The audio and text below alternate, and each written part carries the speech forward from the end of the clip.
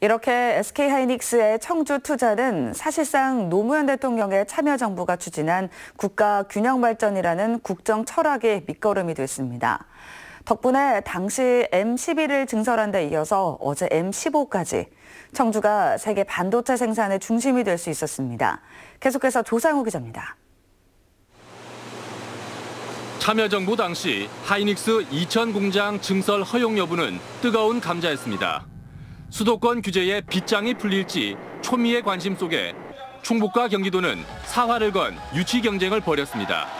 논란은 노무현 대통령의 결단으로 일단락됐습니다.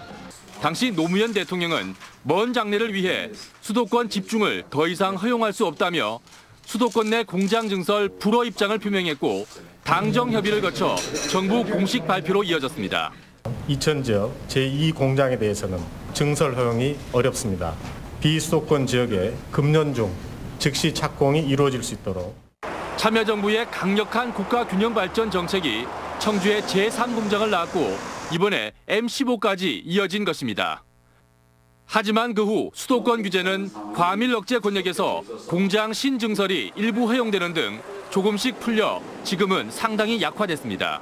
지자체와 기관들이 같이 연합해서라도 자꾸 그런 문제를 거론하고 또 저지하려는 노력들을 좀 해야 되는데 그런 것도 동력이 많이 떨어진 것이 좀 아쉽다. 어려운 여건에서도 흔들림 없이 고수한 국가 균형 발전 전략이 반도체 청주를 있게 했고 그 원칙은 지방의 생존을 위해 현재도 유효하다는 걸 잊지 말아야겠습니다. CJB 뉴스 조상우입니다.